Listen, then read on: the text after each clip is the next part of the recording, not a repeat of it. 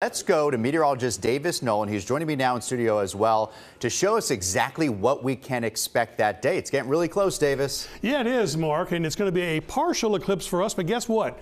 Up to 90 to 95 percent of the sun is going to be eclipsed here in Middle Tennessee. So we won't go totality, as they call it, like we did last time, but it's going to be awfully close. Now you'll need those eclipse glasses. We'll talk about that more in a moment. Now the total eclipse will be from Texas to parts of Arkansas, southeast Missouri, Illinois, and to parts of Indiana. And that's not too far of a drive away for many of us to go to. And you could go to some place like Poplar Bluff, Missouri, Carbondale, Illinois, Little Rock, Arkansas, places like that to see it. And it's not too far of a drive, generally maybe a two to at most four hour drive to get to the totality. Now, if you're staying at home, we're still going to have quite a show on our hands, but you need those eclipse glasses.